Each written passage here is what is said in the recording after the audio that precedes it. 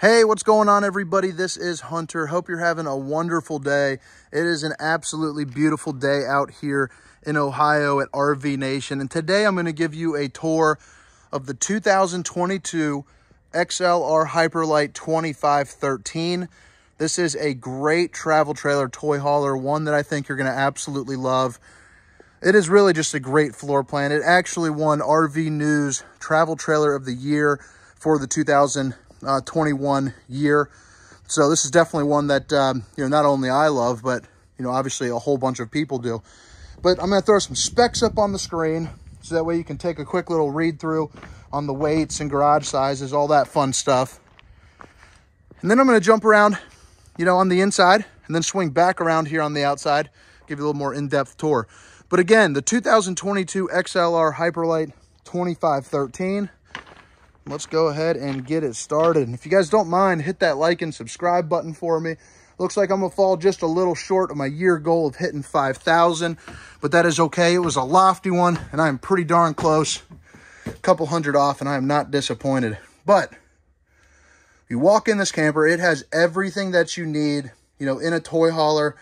It's kind of a get me done floor plan and the fact that you have, you know, this space is going to be shared living space and garage space. So you know, toy hauler. So you got tie down, tie down, tie down, tie down, tie down, tie down. So you have six tie downs in the back of this. And from here, so this area right here is going to be 13 feet 4 inches, so plenty of space to put your toys. I went ahead and, uh, you know, kind of laid down this back patio. I didn't want to set it up here today, so I want to show you kind of what it's like when you go back to storing it. So you're going to flip this back up. It's going to lay, you know, just behind here. But that's how your railings, you know, will kind of sit. And to set it up is as easy as this. You just take your hand right here. Oh, I forgot to take off the bungee. So there's a little bungee cord right here. You just take that off. You lift it up. And then you just swing it around back open. So extremely easy to take apart and put down but I wanted to show you what it kind of looks like in store mode because not a lot of people, you know, really show that. So you got your three seasons door right here. So you got a little screened in. You can also close this up. So a little bit of little airflow in for the, uh, you know, for the springtime or fall. And to push those off to the side, just grab that right there, pull it down, and you can open it up. You know, it's uh, it's removable. So, you know, that's nice for when you're traveling. Right here, you got this kind of a dovetail finish is what I would call it, but you got a little slope there. So if you're pulling in, you know, a motorcycle, a Harley, something that's a little bit longer, it doesn't bottom out right there. You're also going to notice you have four little pucks. So there's some tables and some legs that you can drop down in there. Use these couches right here, flip them down, set them up have a little place to maybe have some dinner, play some cards, you know, enjoy some of the scenery here out behind you. Whew, sorry, I'm out of breath. Getting over a little bit of a cold here. But this right here will also lower down to make a nice queen size bed for you. In addition, these two couches, if you're not too familiar with toy haulers, you know, you can flip those over. They are rollover beds. So that will make one big, you know, queen bed as well. So plenty of space or plenty of sleeping space in a camper this size. You also notice that you got a window over here and you got another window right there as well. You can also remove these just with a couple pulls, you know, of some pins. There's going to be four pins that hold up each one. You'll see the tops right there and right there also on the other side, but you can actually remove this entire bed as well. All right, so now looking at it from the back half, you got your entertainment area, you got a fireplace. That will heat up this entire camper, no problem. If it's 35 degrees out, you can set that thing up. You know, it'll keep that 65, 70 degrees with absolutely no issues. You might need a little bit of heat back in the bedroom if you were to, uh, you know, have those doors shut. But if you left the door open, it would be more than enough. Two recliners, a very, very nice large size window over here to your right. And right here is going to be your cooking zone. So this is where you're going to get stuff done, you know, food-wise. You got a little prepping station right here put yourself on a little, uh, you know, topper right there. A lot of people are doing those little roller, you know, drying racks. but a single mounted um, stainless steel undermounted bowl with your residential high rise. Pull that out, doing some dishes. You also have a little light right here. Plenty of storage there all around. You see that has a little bit of a lip. That's just going to keep things from rolling around up there for you while you're traveling. The Furrion microwave.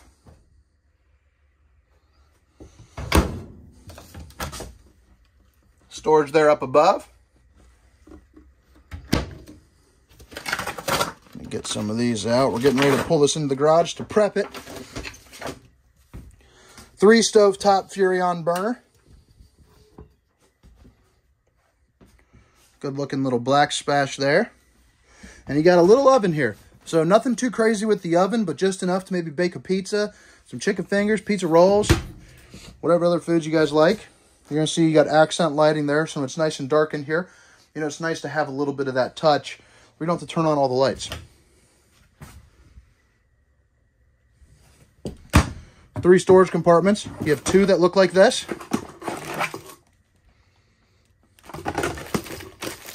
And that right there is your tire pressure monitoring system, which I'll show you here when we get to the outside. And you got one larger one here down below.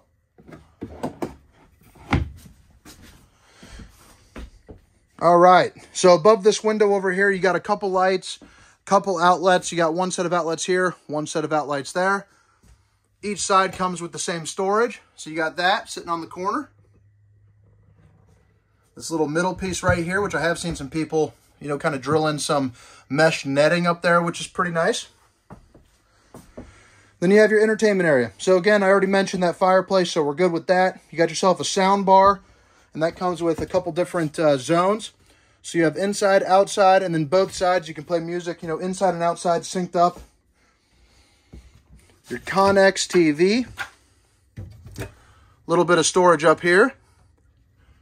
A little bit of room to maybe glue down some knickknack items. Your gas and electric refrigerator.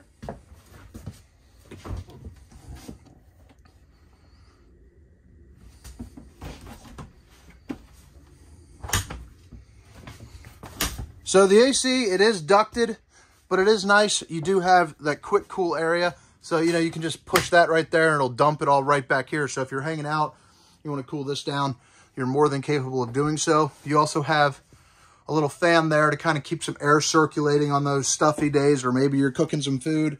You know, you have a way of getting that air moving around. So the bedroom and the bathroom, they have dual entries. So you got this entrance right here, and then you got that entrance right there good storage, along with a central vac system right here. I'll zoom in there. So hook up a hose, kick it on, and you can sweep out whatever you need to sweep out. Just makes cleaning a little bit easier. Good size shower. A little extra sunlight there up above, or maybe if you're, uh, you know, seven feet tall, you can put your head up there. Put a towel. Now, surprisingly enough, most campers don't have that, so it is kind of a cool feature. I don't know why you don't see that or why that's even a shocking thing to have, but it really is. Little sink right here to get the job done. You know, brush your teeth, do all that good stuff, wash your hands. The MaxxAir vent, so you can turn that on. Bada bing, bada boom. You also got a little bit of storage there underneath, as well as another outlet. All right, so this bedroom I love. Before I go in there, it's got a little reading nook. Boom. I think this bedroom is absolutely awesome. This is kind of a shining star in this camper and probably why it won, you know, that travel trailer of the year, you know, award because I think this is just sweet. So this camper, you know, it's not too large, but having a bedroom like this just makes it feel so much nicer for those long-term trips. You're going to see you got outlets right here, outlet USB, so you can lay down, read a book, plug in your Kindle, your laptop, whatever you'd want to do, and get some relaxation time, you know, right up here in this front window. This is tinted, um, so, you know, it doesn't let in too much. You can also black it out. So, killer feature to have. I absolutely love the front of these XLRs. I think they're doing a fantastic job with that. Um, yeah, you also have, if you lift this up, you're going to see You got some storage right there as well. So to the right and to the left of that awesome huge window up front, you do have a room for, you know, some hanging closet space. So you need a week's worth of clothes to hang up. Boom, you are good to go. Two of you traveling, so you need a second one. You also have another fan here in the bedroom to keep things circulating. And then this bed is the slide out. So it kicks out, gives it an extra, you know, couple feet of room right here. So you have some walking space. You know, I'm six feet, 290 pounds. And you can see I'm getting through this, you know, with absolutely no problem. And back in that garage where I showed you those little pucks, that's what this plugs into.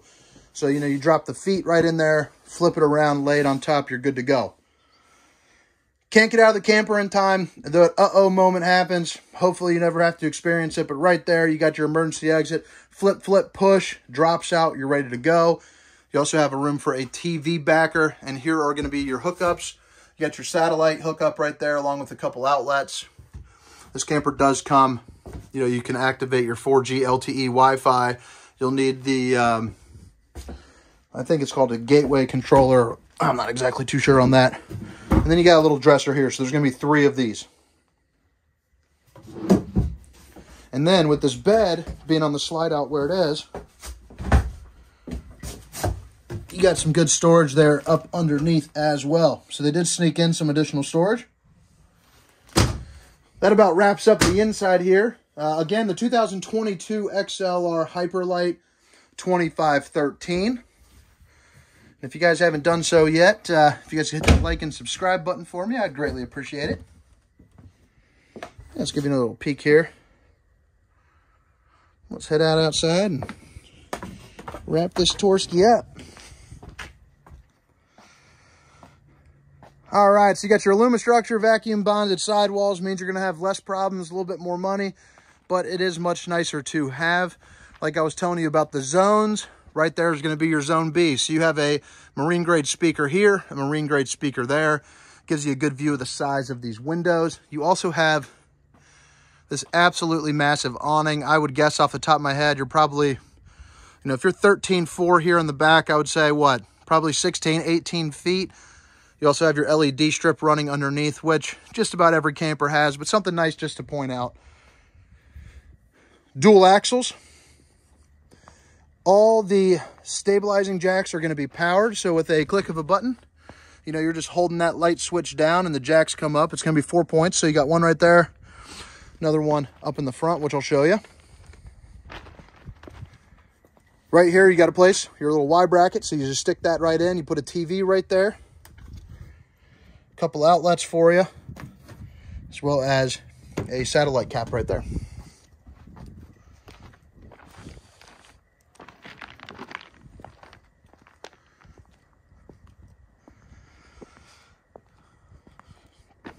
All right, so before, if you didn't quite get what I was telling you about setting this up, so bungee, you unhook that. This is kind of in that travel mode, you know, that store mode, keep it sturdy.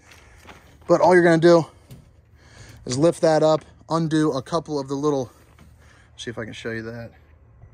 A couple of those brackets right there, you just unhook that and you just open it on up and you're good to go. But really lightweight, really nice and easy. You know, it's pretty good. And if you just want to lay it down like your traditional toy hauler, obviously you're loading stuff in. All you have to do is hold this, pull this pin, and you're good to go. Store those cables back inside. You're also going to see you have a couple LED lights there up above, and this camper does come prepped for an observation camera. So that runs you $550 installed, but it is nice for when you're driving down the road to be able to see, you know, what is going on behind you with little distance markers you know, just makes life a little bit easier while towing. Right in here, you got something pretty neat. You got yourself a fuel pump station. So if you're out traveling around, riding dirt bikes, riding the motorcycle, you don't want to stop at a gas station. You turn your pump on just like a gas station. You know, you just put it in. I believe it holds, see if it says, I think it's 30 gallons. It could be 20. I'll have to definitely double check that for you. But um, you also got your different connections, your city water connection, freshwater connection, black tank flush. And then you have your little spray port right there for hot and cold water, which is nice. It's a 50 amp unit. So right there is going to be your plug-in.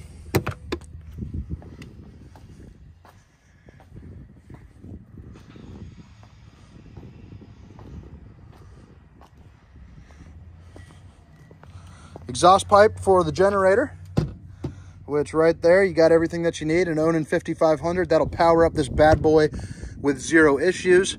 This is a cable driven slide and what you're gonna see in the XLRs is they laminate these sides. So you know, sturdy as can be, a lot of your Keystone brands and stuff like that do not, uh, cannot compete with that right there. Or maybe they just choose not to, I guess I should rather say.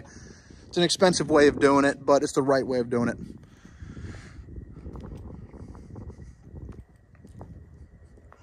All right, well, I hope you guys enjoyed this tour. Uh, my name is Hunter, and again, this was the 2022 XLR Hyperlite 2513. Hope you have a wonderful day. See ya.